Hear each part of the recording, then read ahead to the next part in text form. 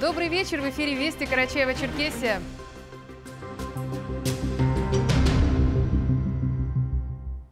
Сегодня глава Карачаева-Черкесии Рашид Темрезов принял участие в заседании Президиума правительственной комиссии по региональному развитию в режиме ВКС под председательством вице-премьера правительства России Марата Хуснулина. На повестку дня вынесли вопросы, касающиеся реализации программ дорожного строительства, реконструкции, капремонта федеральных, региональных и сельских дорог. Как отметил вице-премьер, в среднем по стране в минувшем году отмечены лучшие результаты. Перевыполнены показатели по реализации нацпроекта «Безопасные и качественные дороги», по словам Рашида Темрезова, в Карачаево-Черкесии поставлена цель не только не сбавлять набранных темпов, но и совершенствовать работу. В текущем году по нацпроекту в республике будут приведены в нормативное состояние 26 километров дорог и 6 мостов. Еще свыше 5 километров дорог местного значения реконструируют по программе комплексного развития сельских территорий. Еще один вопрос в повестке. Совещание касался мер по снижению аварийности на дорогах. По словам Рашида Темрезова, в этом году планируется установить на дорогах республики порядка 30 дополнительных стационарных комплексов фото-видеофиксации. Сегодня глава Карачаева-Черкесии Рашид Темрезов встретился с матерями и женами военнослужащих, женщинами, которые своей решительностью и стойкостью духа вдохновляют наших бойцов и служат примером каждому из нас. Конечно, на встрече самым важным было узнать, чем живут семьи военнослужащих, чем мы можем помочь еще, какие вопросы остаются открытыми, отметил глава. Присутствующие внесли свои предложения по расширению пакета региональных мер поддержки, обсудили точечные, персональные острые вопросы и системные решения. Абсолютно все озвученные пожелания уже в работе и на контроле руководителя региона. Несмотря на это, на такую загруженность, вы еще продолжаете одними из первых э, организовывать и гуманитарную помощь, я уверен, что именно ваши слова, слова поддержки, ничего дороже для наших ребят на сегодняшний день для них этого нет.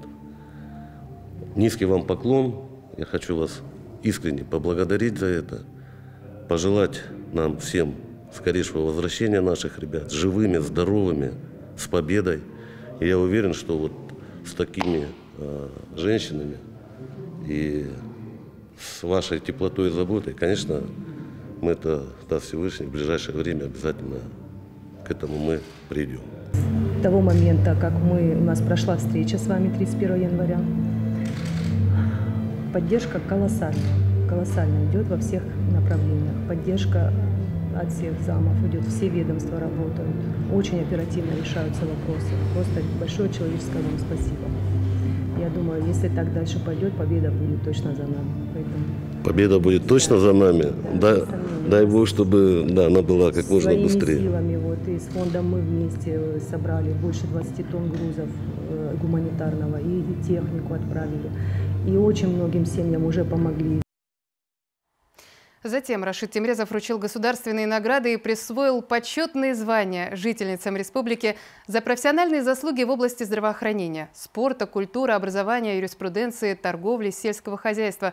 С торжественной церемонии репортаж Альбины Ламковой.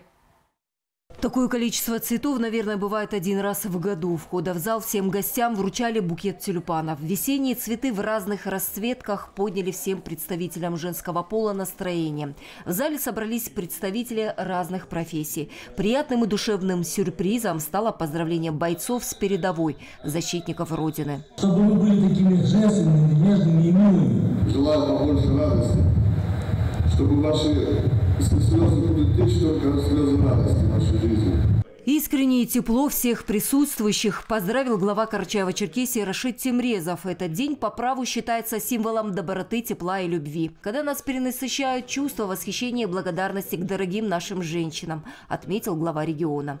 Добавив, что вы преуспеваете во всех сферах жизнедеятельности, оставаясь чуткими, любящими, заботливыми хранительницами очага. Обратился с благодарностью и к многодетным мамам.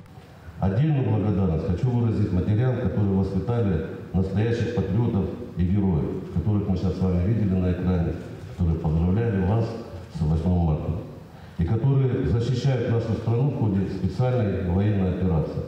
Не хватит, наверное, всех слов, чтобы выразить вам наше восхищение и признательность. Низкий вам за это поклон. Дорогие женщины, мамы, бабушки, прабабушки, От всей души поздравляю с вашим праздником. Желаю вам крепкого здоровья, счастья, любви и всегда такого классного весеннего настроения. Затем руководитель республики вручил женщинам государственные награды. Дарико Ильканова получила звание «Заслуженный учитель Российской Федерации». В сфере образования она работает более 50 лет. Я этим званием очень горжусь. Хочу сказать, что все знания, э, все свой опыт буду стараться э, передавать молодому поколению. Хочу сказать, для того, чтобы я достигла этой цели, многие мне помогали, многие направляли. Хочу сказать большое спасибо им. Хочу сказать большое спасибо главе Карачаево-Черкесской республики. Поддержать Дарику Сиитовну пришли родные. Это моя внученька. Как вот. тебя зовут? Дарья. Дарья. Дарья, ты будешь учительницей, как твоя бабушка? Да. Да. На мероприятии получили государственные награды 26 человек. Все они настоящие герои труда самых разных профессий. Принципиальность, настойчивость в достижении целей позволяют добиваться хороших результатов. Лёля Искендарова – социальный работник. В этой сфере она трудится более 17 лет. Говорит, очень волнительно получить высокое звание, так как это не только оценка твоего личного труда, но и большая ответственность, которую надо оправдать. Чувство, конечно, переполняет.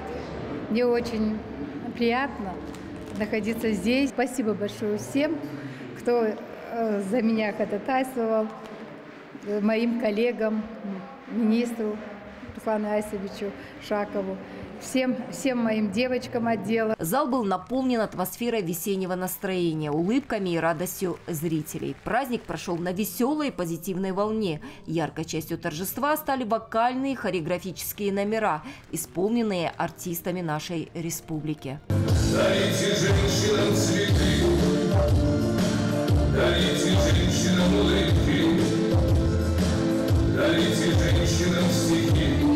Альбина Ламкова, Либастанов, Вести, Карачаево-Черкесия.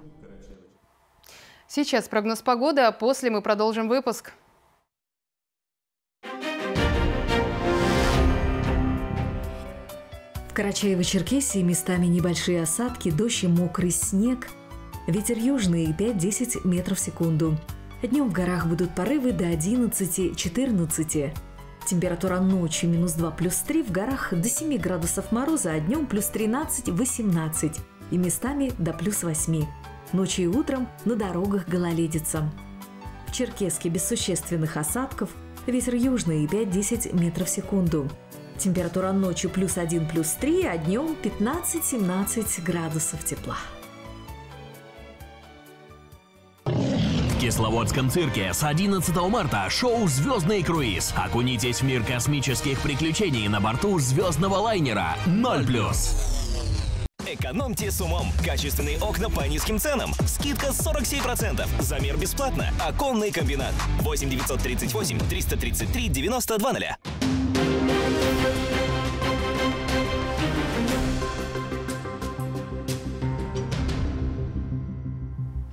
Сегодня в Карачево-Черкесии открылось региональное управление спецсвязи. Предприятие имеет статус стратегического и является фельдъегерской службой в структуре Министерства цифрового развития. Все необходимое для работы сотрудников было подготовлено еще в конце прошлого года. И вот теперь при участии руководителей Республиканского цифрового ведомства и Южного регионального управления специальной связи был дан официальный старт.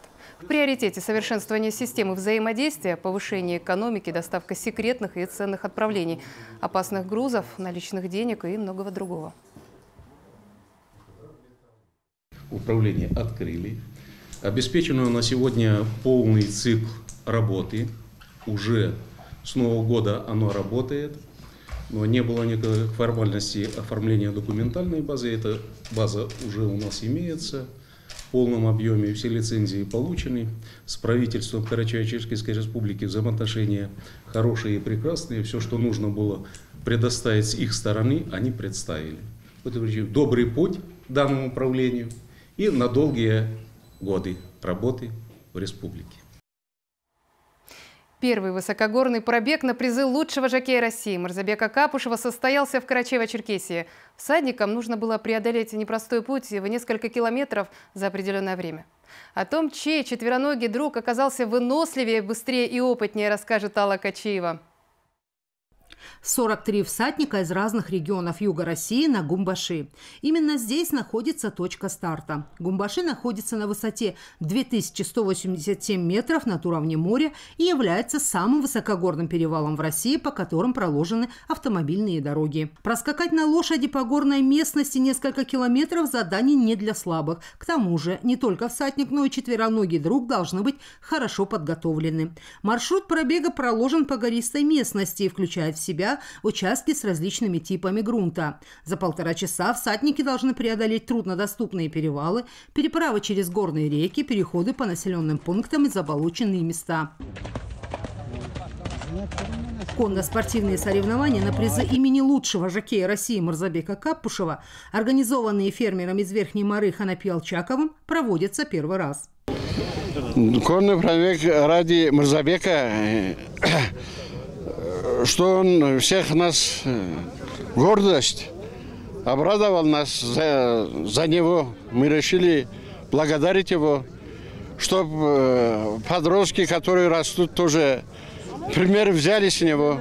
Участники пробега отнеслись со всей серьезностью к соревнованиям. 33 километра за полтора часа. Самый высокогорный конный пробег в Карачаевском районе собрал десятки любителей этого вида спорта. В горах погода очень непредвиденная и переменчивая. В день пробега то спускался плотный туман, то появившееся весеннее солнце сменялось обильным снегопадом.